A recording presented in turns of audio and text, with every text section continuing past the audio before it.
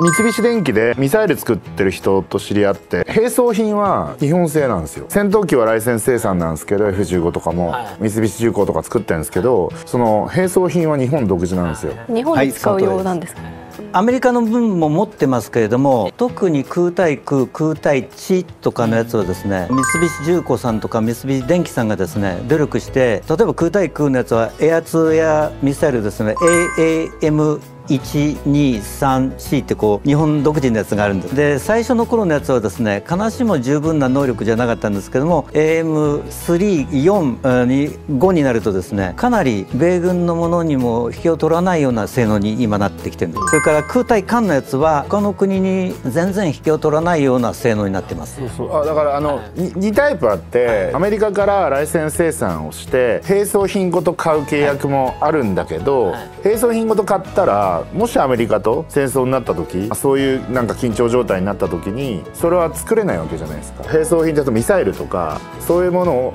がサプライされなくなるわけですよ。例えばですけどロシアがウクライナと戦争してるじゃないですか。そうなった時に例えばミグとかって多分ウクライナとかはロシアのライセンス生産をしてるんだけど並走品とか自分たちで持ってるか持ってないか知らないですけど持ってるとずっと作り続けられるけど